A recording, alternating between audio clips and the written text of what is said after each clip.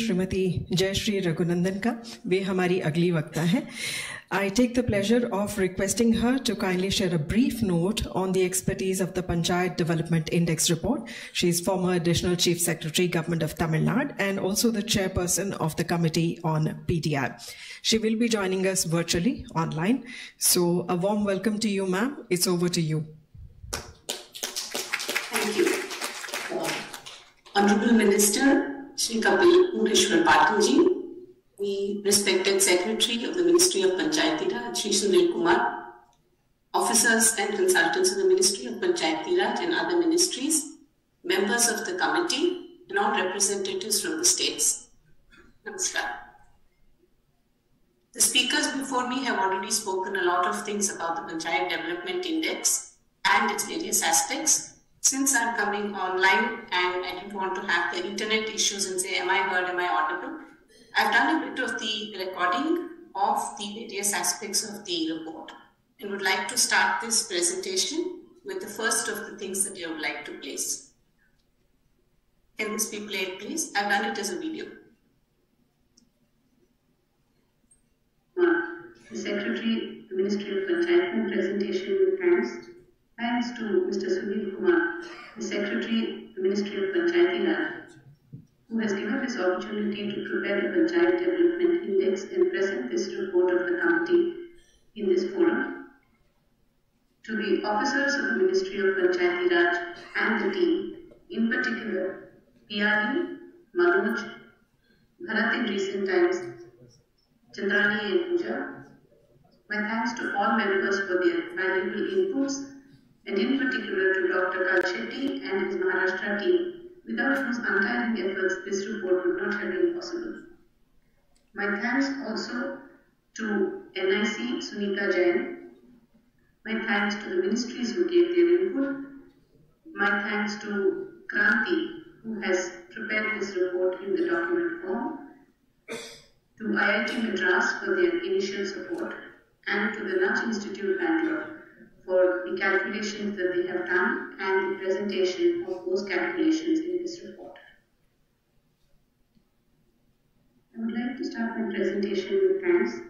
Thanks to Mr. Sunil Kumar, the Secretary of the Ministry of Panchayat, replayed. Can it be who has given this opportunity to prepare the Panchayat Development Index Can and the, present can the this presentation be committee stopped? Having a this replay.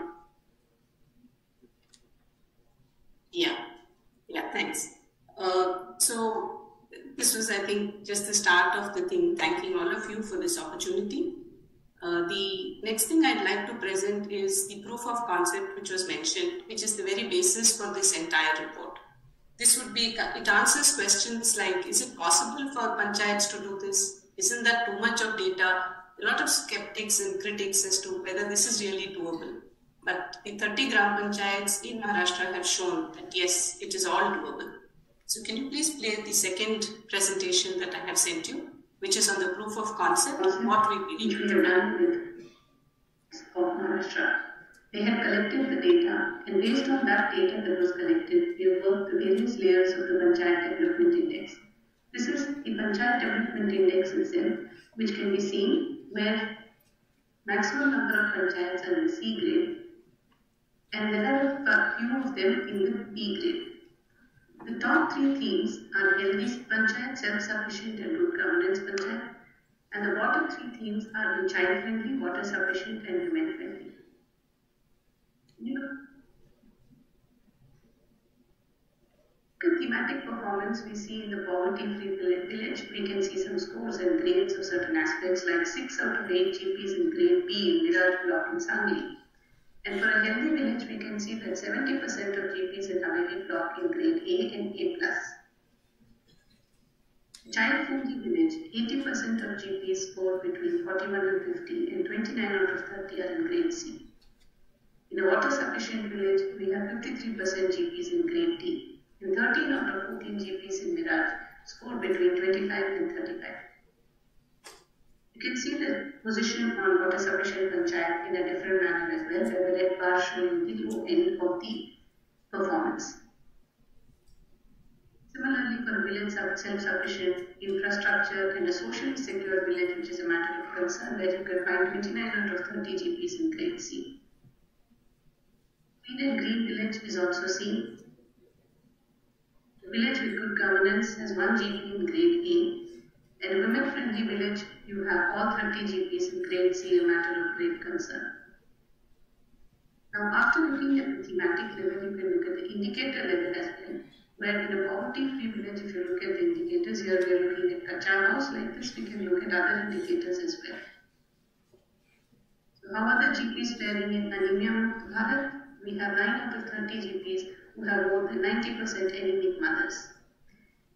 And if we see NRLM's impact uh, in certain ways, you see that there are 23 of 30 GPs have SHG enrollment of more than 80%, but 9 out of 30 have less than 30% SHG accessing bank loans. The grades that are being used, as you know, are achiever, front runner, performer, aspirant, and we've added beginner.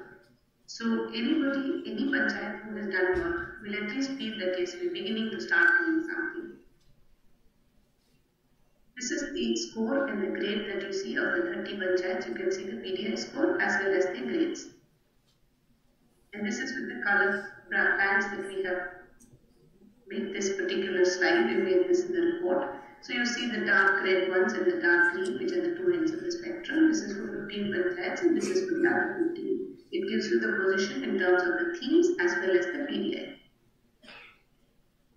From that, at the level of GP, we see the level of the block. What is the average for a block which has been taken based on the weightage of population? So you have it for the four blocks and since there is only one block in a district, the same score is coming for a district as well.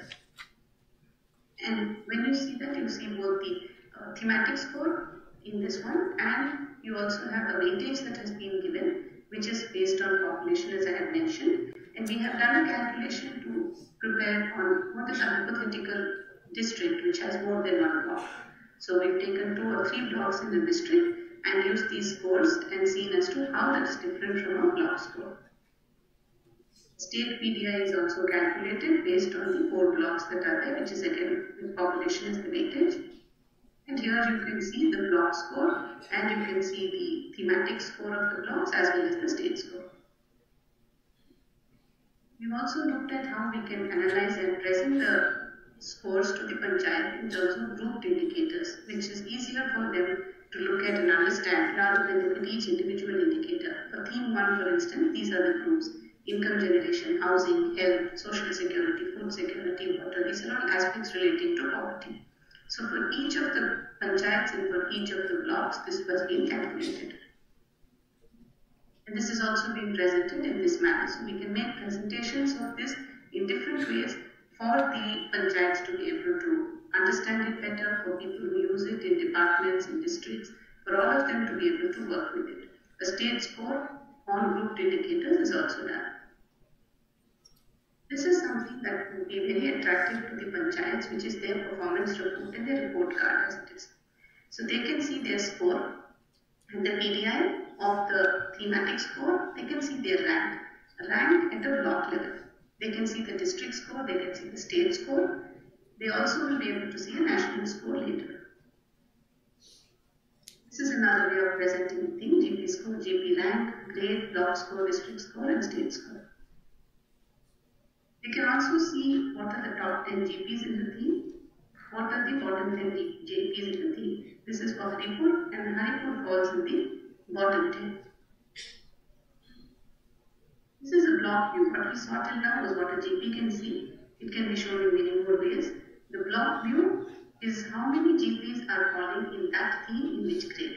So you have the poverty free, there are 12 GPs in E grade, but in water sufficient, there are 16 GPs in D, and there are 29 in C, 29 in C, in 29 in C, in child friendly, socially secure, and. Challenge and limitation of PDI. What is the challenge? Yeah, uh, I think you're running another PPT. Yeah. Uh, I hope it's much clearer to you than it is to me. Uh, now, what we saw in this was the sort of representation by which the information can be provided, which Bagate was talking about, saying they're able to see much more because of this. Beyond looking at the scores, one needs to also do an analysis as to what is the way in which these scores will enable panchayats to work or to correlate with other aspects of the work. Can you please run the next PowerPoint? This is analysis and interpretation of scores.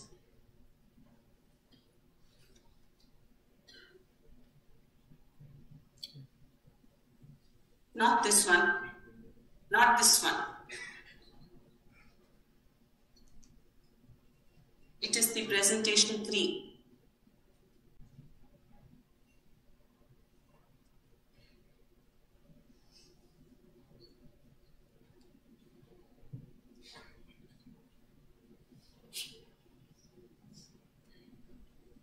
Usually in all workshops and all, I prefer to have my PowerPoint in my control. But no, no. Uh, yeah, can you please this? It in terms of grouped indicators. And for all the nine themes, there are groups that have been formed. For instance, if we look at a healthy village, it's much easier to understand it as maternal health, child health, communicable disease, and non-communicable disease. This will also be very useful for the departments to be able to focus and look at how they would like to address this and where these scores are low. These are all part of the analysis which is done, where you can see what is the uh, connection between the PDI score and per capita spending. Per capita spending is the finance with the panchayat divided by their population. So it also breaks the myth that you have to have more finance to achieve something because one of the highest scoring GPs is Novikarpur which doesn't have any high per capita spending. This is a way of also representing it where you show the correlation between PDI to per capita funds. These all ways of data visualization make it much easier for anybody who is working with it to understand and see all these figures. This is another way where you have the bands of those red and green and you can see that if you have a high dark green band and you see the score, the listing is from the highest PDI to the lowest PDI. The dark green bands are in the middle and so it is very clear that it is not necessarily that you have more money and so you have the highest point. This is the PDI score to the GP resource envelope including own source revenues. So increase of own source revenue and resource envelope can be seen as well as if you're looking at say the village health plan which is there, how much is the money given for the village health plan and what is their score of the healthy panchayat can also be correlated and seen as a single graph. This we looked also at the Sankalp, Ministry of Panchayati Raj had asked all the panchayats to choose two themes as what they would like to take the Sankalp and try to achieve maximum on. So we looked at those and we find that the patterns may be there where then the panchayat may choose the lowest or highest or something. And if they have the scores, they will be in a better position to actually make their choices. And here you find that in some of them they have chosen the highest, some have chosen the lowest. So they can always make these choices based on the scores that they get. Challenge and limitation of uh, If you want to get to just hold this. Yeah, uh, this is not the uh, video now. Uh, so we did see what the uh, proof of concept is able to show. And so from here, if we just take it back to PDI in context, some of the speakers earlier have mentioned certain aspects of it. So if we can play the one of looking at PDI from the global context to the panchayat level context. That's the presentation for, yes. Provide better data for better lives. This is from the UN SDG report 2022. So we believe that the knowledge that we are getting in terms of the PDI will enable better data use and for better lives. This is the UN Secretary General's data strategy and the PDI completely resonates with this. It looks at a vision, the outcomes, the principles, the capabilities which need to be nurtured for analytics and data management, and enablers and a roadmap and how the priorities are to be chosen. This is the vision that is set there as the data strategy. We have a vision too for the SDGs. There are priorities for data action which will be selected by the GP. There are capabilities that will enable us to unlock our full data potential. The analytics which is extremely important. The data management which is necessary. SDG and LSDGs. The two are correlated the SDGs have goals from goals the National Indicator Framework and from the SDG India Index. And here we have the LSDGs from which the themes, the local indicator framework and the Panchayat Development Index. The correlations within the existing programs and, and systems that are there, we have the correlation we have established between the RGSA and the PDI, between the GPDP and the PDI, the um, mapping that has been done between what's available in the GPDP for use by the panchayats in total that is there the LIF has been mapped also to the 29 subjects. We can see that they went towards women and child development, social welfare, welfare of weaker sections, where you have also seen that the present scores are quite low in the 30 panchayats, and health and sanitation. We've also correlated between the PDI and the National Panchayat Awards. And if we look at these in terms of what we've been able to see currently is that the GPDP is a small subset of the LI and the NPA has a few indicators outside of the LI. Ideally, it should move into a position where the NPA is a subset of the LIF and the PDI calculation. The GPDP needs to be growing larger and finally to the level of LIF and even beyond as the panchayats may want. And this is Mission Antyodaya, which was the basis of preparing GPDP earlier. Now we recommend that it should be the LIF, which already the ministry has started doing. Here you find that 82% of the MA was being covered under social self self-sufficient infrastructure. And what was going for socially secure was much less. This is the correlation between the LIF, GPDP, NPA, and MA for the extent that has been already found to be uh, on the same uh, number of indicators. So you have that in that you have some which are in MA, not in the in MA, not in the LIF. So you have these interesting figures by which you can see how they are presently correlated. We also looked at PDI correlation to e-Gram Swaraj and the Sankalp as I already mentioned. And we find that socially just village with good governance women friendly are very, very low as compared to certain others. The scores perhaps will push them to more of these rather than taking only the self-sufficient. This is what will come in, in the future when the work on data sharing in all is is the Local Government Act. So uh, this was the PDI in context, and uh, as uh, Dr. Sanjay had mentioned, there was a process that the committee had taken up, and how we went about doing our work in brief. Can you please play the next presentation? This is the process that we had followed in the committee. We started with the LSDG report and taken the LIF from it. We had discussions with ministries. We had discussions with states and hilly states. We had a panchayat interaction, a field visit, which was with YASHADA. We went to Pune. We met with the village there. We saw their records.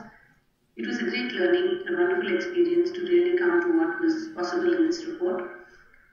We had the state's initiatives which we looked at. We had a revised LIF which we prepared, and went for the proof of concept, the data collection for the proof of concept, the calculation of the PDI thematic scores indicators, the data analysis on different aspects, the PDI which is in context, the challenges and limitations and the recommendations that we have come up with. One thing which needs to be mentioned is that before coming to this workshop, the Maharashtra team has had a discussion on the PDI, the scores, the thematic scores that has been presented, and they would be talking about it. These are the numbers at a glance. You have nine LSDG themes, you have local targets, you have the indicators, you have indicators including sub-indicators. Sub-indicators are that which can be coming within it. Like if you have a transition rate, you have a transition rate of primary, upper primary, secondary. So those are sub-indicators of the transition rate. Similarly, in self-sufficient infrastructure, you have a primary school. So what is the condition of the primary school? For it, you have electricity, you have water, you have toilets. So you put down that and you can specify sub-indicators. Then you have common indicators, which is common for everybody. There are specific indicators which are for certain areas and not for others. So if I do not have uh, a, a PHC in my village, I am not going to be counted in the specific indicators. Uh, then there is the repeated indicators that are there in some indicators and the repetitive indicators. So the repetitive indicators of 66 are repeated totally 147. Unique indicators, similarly data points, repeated data points and unique data points. So here you have the breakup to show as to what is the total number of unique indicators. So if we collect indicators of 496, we will be able to get the calculation for 577 indicators. To get those 577 indicators, you have to get data points that have to be, the data has to be collected on. So there the unique data points to be collected are 688. The next thing I'd like to present to you people is regarding data. Data being very important for this entire process. So can you please play the next presentation? Central to the. Data availability is there for 688 data points as has been seen through the work proof of concept. Data sources that has also been explained in terms of the ministries from which it is and here I'd like to specifically mention that the Gram Panchayat is also a data source especially for that data which is not available presently. It is with the GP, it can be collected by the GP and also it needs to be collected through survey because currently we will not get the data even if you actually go to collect it. For example, crimes against women. There are data sources mapped to ministries and you also have data available in flagship missions. So this is part of the work that is to be done to figure out where the data is available as the primary data source. This is available in ministry portals at GP level. So not all data is at GP level presently. These are the various dashboards. You can also see the representation in GIS maps which you see in the dashboard. So there is a lot of administrative data that is there and all of them are actually doing data entry in the GP. This is when you look at data entry in the GP, this is part of the work we did in the field visit and it was completed by Dr. Kalshetty and his team which uh, we recommend that every state needs to do this if they want to take forward the process of data collection. They need to see, see where is this data available in the GP, where is it, who, who has it, and how do you obtain it, which register, where it, which particular place that it is there. Along with this, they also need to do the data portals. Portals of the ministry where they enter the data. That would really give a picture because when you enter it, you always enter the GP. GP block, you go into those levels to actually get the data into the portals. So the data collection must be easy, a little difficult for us because we didn't have the necessary uh, tools that are required in terms of the ease of putting in data. There were no APIs, but all this will be coming in. Data sharing is very important. Data validation. Here I would like to mention about the Bangla Parameta, which is an excellent system which is recommended because it looks at neighborhood committees where the data is provided, especially where the GP is going to be getting the data. It is very important that we have a validation through them. The frequency of data collection. While the PDI is annual, the frequency needs to be more than annual in the sense that you actually get it monthly or quarterly. Already it is coming in administrative data. That is because the panchayat can then see what it's doing and how it's progressing. You just give them an annual data and say this is your PDI. Does it enable them to do correction of course and see how their how their GPDP plan is actually working? And there should be a value for data collection. It's not a data collection for free. In VPRP, payments are made, for service payments are made. So for the sake of PDI, whatever is the additional data that's to be collected, there must be a value for that data collection. And this is an extremely important aspect in terms of training and capacity building. As I mentioned earlier, it is also part of the UN data strategy. And in this, it suggests that there should be a learning phase. This is the first phase where the core group of trainers is for training. They do the field visit, they do the identification, and they also do an exercise of data collection. From there, they are in a good position to then look at the final phase, where you create these district training groups and from, they do a similar exercise and they are also able to collect it from 1 to 5 GPs. Then you go for the expansion where the district groups are training other district collection teams. For every GP you have it, you have the people to collect the data and then by that you get the statewide data collection.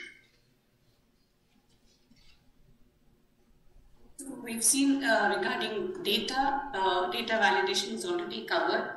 Uh, there are just about two more small presentations left. I am getting messages saying please finish early. Uh, it's difficult for me to control this uh, speed now. If I were there, probably I would be able to finish early. But there are some couple of aspects in it. Uh, so I would request that you please play the next presentation. It's about three minutes. It is on the Panchayat Development Index. The aspects of PDI we have already seen. I'm just putting it together for you the indicators and LI, the data source, the themes, would like to mention about the reference period. The reference period, what we have taken for the proof of concept was on the 31st of March of 2022. You could look at reference periods at the end of a financial year, and then there may be a different reference period for agriculture, for instance, but it is all right as long as everybody, every panchayat has the same reference period.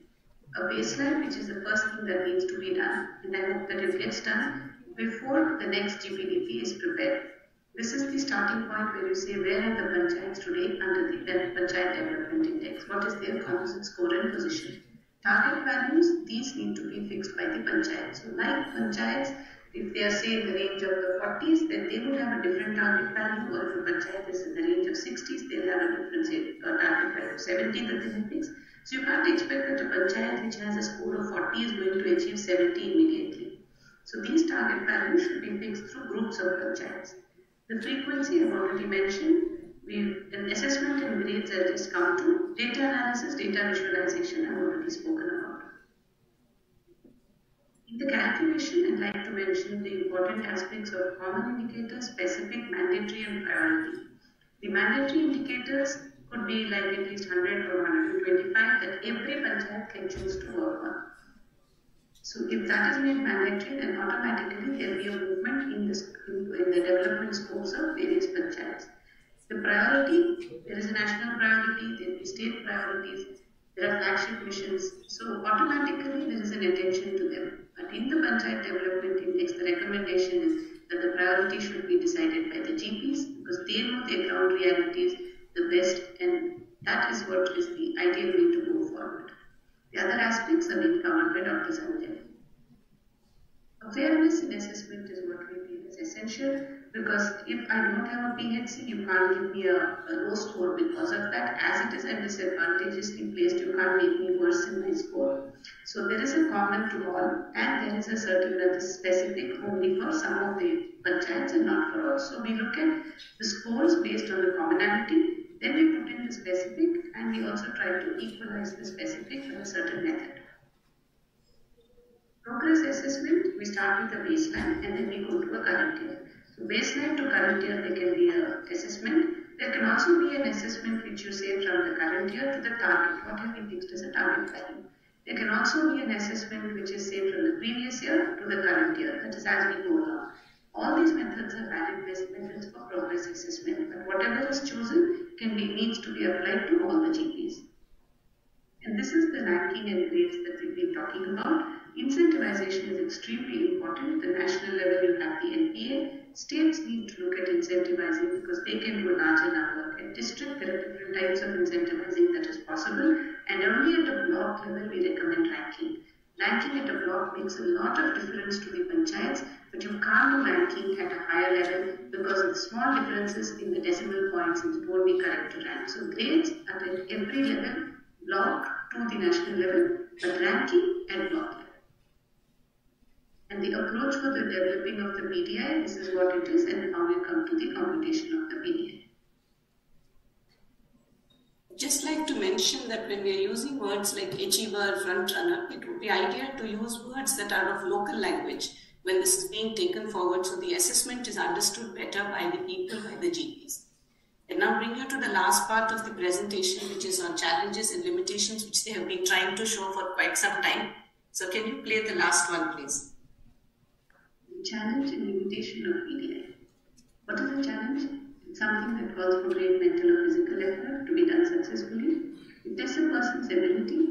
You need to convince a person to perform an action. That's a challenge for you. And it is a dare, it is an invite to take part in a competition. What would be a limitation? That it is not as good as it could be, or it has an imperfection, imperfection that limits its use or value. PDI is a challenge. It calls for a new paradigm in thinking. It has data and indicators, analysis, interpretation, and use, which is very, very important, which need to come in. But it is not a panacea for all ills. It works along with schemes, it works along with the key performance indicators. It's not something that comes instead of them. But limitation should not be placed by officials saying, okay, let them only do so many indicators at a time.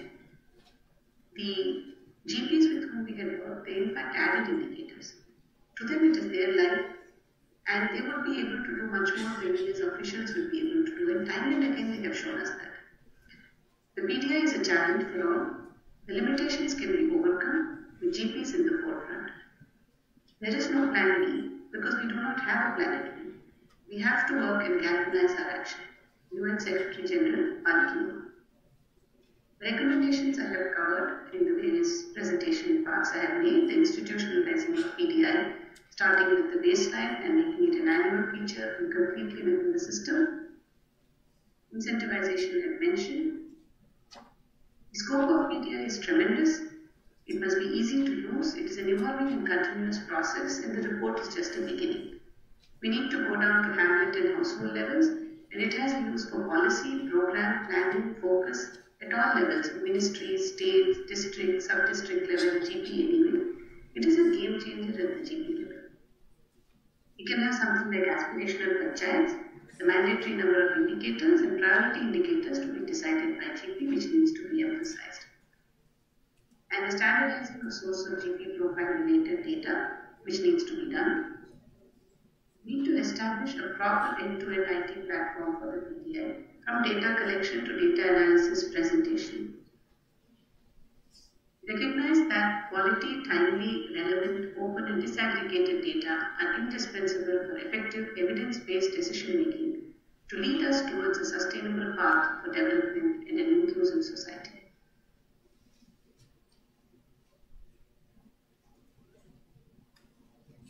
The PDI rests on the belief that GPs can do a lot, and they have shown us time and again that they can do it. And with the coordination support of all the departments, ministries, all of us, all people in the field, we can really make a tremendous difference in development in achieving these SDGs through the LSDGs. We expect that the PDI will be a model for the rest of the world. Thank you. Sorry I had to do this online from a distance. I hope the videos did uh, reasonably well for all of you. Thank you very much.